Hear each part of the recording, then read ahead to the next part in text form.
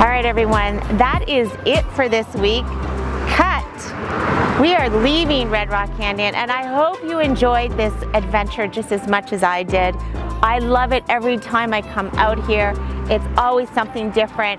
It's always something wonderful, and it's always something so peaceful. So stay tuned next week because you never know where I'm going to be.